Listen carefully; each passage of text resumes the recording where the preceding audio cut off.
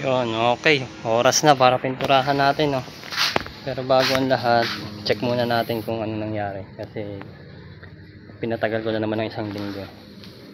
Hmm. Ayun, no.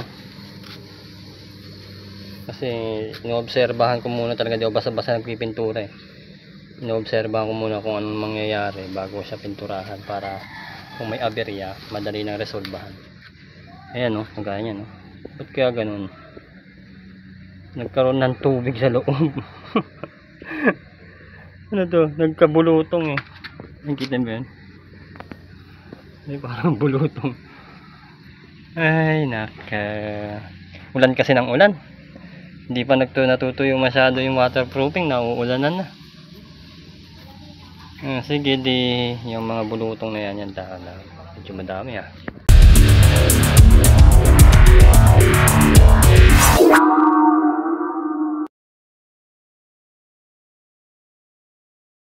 Ito lang naman yata tingin ko. Tingnan. Dito may bubong kasi ito eh.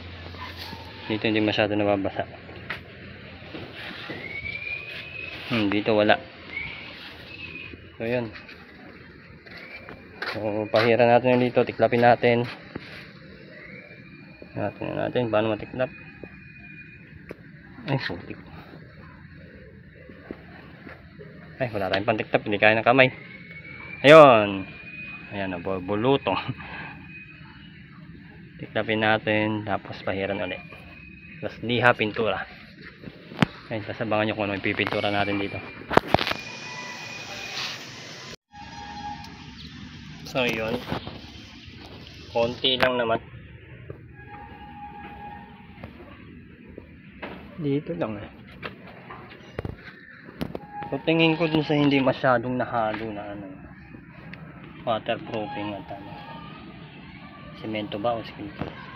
Kumutan ko na. Ayan, di siya masyadong nahalo doon. Ngayon pag pinahid mo, doon sisip-sip yung tubig kapag nabasa. Kaya pinabayaan kong mabasa. Ayan, so, pahira na natin to. At konti lang naman. so, yun. Ah... uulan na naman kasi. Tapos natapalan ko na ang kaso. Tinopak tinatlong mano ko na lang para masigurado no? kahit itong part na lang to. Ito may buong naman eh. Para masigurado. And then habang nagpapatuyo tsaka bukas na lang ulit. Urang uulan na naman eh oh. lihain ko lang tong kabilang part kasi ito basa pa eh. Pagpabukas ko na lang ulit yung pintura na ito tapos ito. Lihain natin Ayan. Mas matigas siya lihain.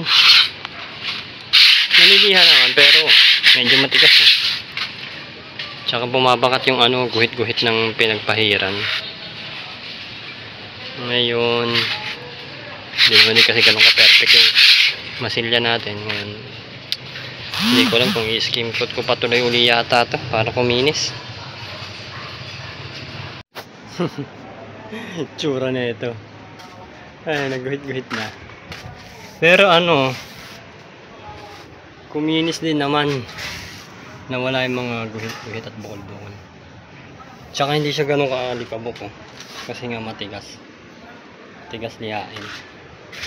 Ngayon hindi ko alam kung papahirang ko pa ba o okay na to kasi makinis naman na eh. Tingin ko mahirap habulin kay yung mismong form blocks, hindi pantay-pantay. Kala nyo lang pantay yan pero may konting diferensya dapat talaga napalitadahan to kahit manipis lang. Umpisa pa lang. Kasi hindi rin naman perfect ang taong naglalatag ng hollow blocks o ng form block. Hmm, walang perfectong tao no? So eh hinto muna tayo kay uulan na naman ayan.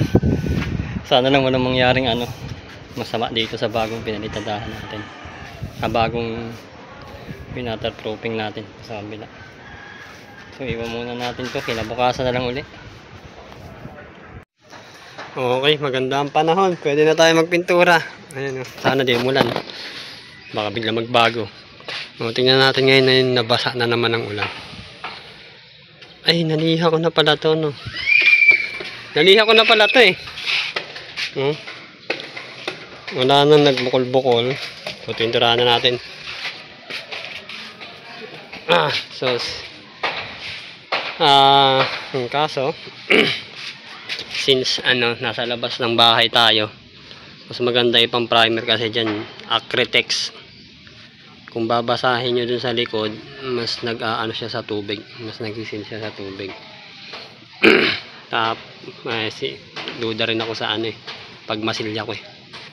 So, para mas hindi pasukin ng tubig, Acrytex tayo. Tapos elastomeric na pintura. O, tingnan natin kung anong mangyayari dito. Okay, huwag paabuti na sa tuktok. Baka madama yung kulay brown. Ibabrush ko na lang yung tuktok. Tingnan natin. Mas ma... Ang liit ng brush mo eh, no? Anong roller? ano, mas maganda sa di tubig. Parehas lang din. Mas makintab, no? Parang hindi primer to ah. Tignan natin. Sisip-sip daw yan sa loob ng konkreto eh. Ah, dapat nilagyan natin ng ano pala, nilalagyan to ng ano eh. Reducer. Hindi kasi ako naglalagay ng ganun masyado. Para hindi nababawasan yung quality ng ano, pintura. Mabilis ba tayo? Tingnan natin. Hindi naman na makala. Babasahin ko eh. Napinturahan na. Eh, wala namang unusual. Ganun naman parate. 28 days. Yung konkreto, nakita ng 28 days. Ayan. Ang hinahanap ko kasi kung water based ba to ano eh. Pero kadalasan kapag ganitong nasa lata, hindi yan water based. Kasi kakalawangin yung lata kung water based yan. Ha? Hindi ko makita kung water based. So assume na lang natin hindi siya water based. Kasi nga natin resulta. Hmm, Sobrang kapit. Tsaka mabilis matuyo. No? Pero parang kailangan pang i-second coating ah. Kita pa yung ano, maitim eh. Hmm. Tingnan natin. Sige, kayod.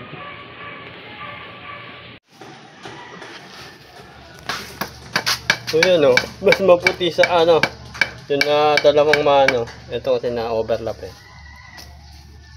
Pero ano, tama na isa.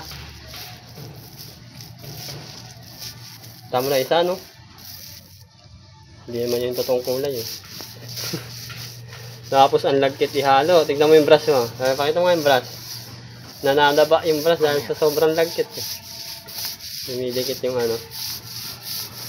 Tapos takpan mo yung butas-butas ha. Yung brush.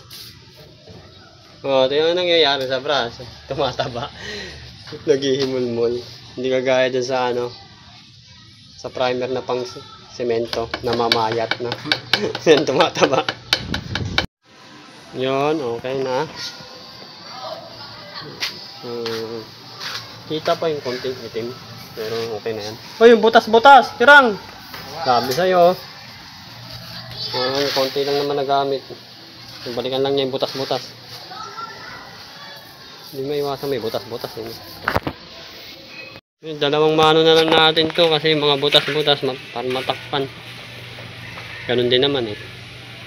Para sigurado pating walang tagos ng tubig. Waterproofing na. Waterproofing pa yung pintura. Mahirap din kalaban kasi ang tubig. O, di ba? Mas maganda pag nadalawang mano, puting-puti na. Nga lang, kapal yata na ito magpintura. Tapos nawala yung mga ano, ano, guhit-guhit. Hmm, Tapos yung butas-butas. Parang kapal naman yata sobra.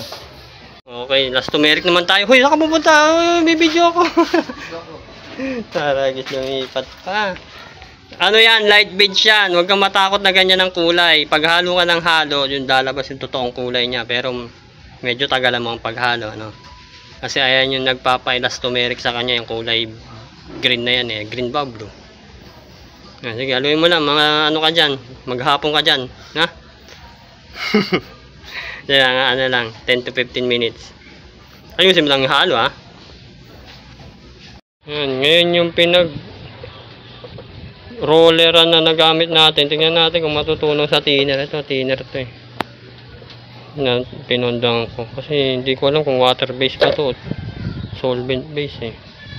Pero tingin ko solvent base yan. Kasi nasa lata eh. Kadalasan ng water base nasa plastic na galon. Ayun, ganun.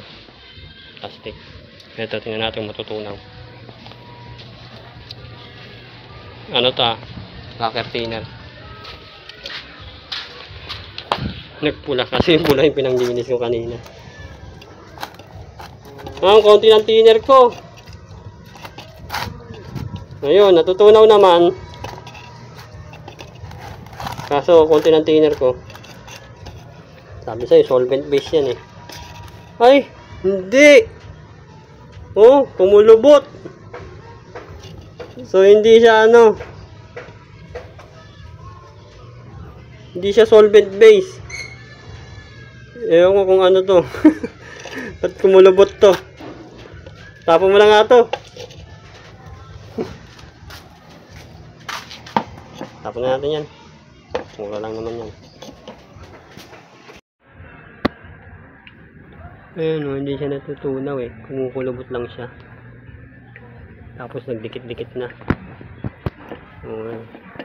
Kasi masayang tina, tapon na natin to. Ito, pinagpahiran ko rin to kasi ng ano, sinausaw ko rin to dun sa acrylic natin. So, hindi siya natutunaw ng lacquer thinner. Oh, nagbubuo Tapon na yun. Oo, okay na, di ba? Kuminis. Nawala yung guhit-guhit na pinagdan. Nasaan. So, okay na yan. Tingnan lang natin yung resulta kapag umulan. At sa mga susunod pa nating video.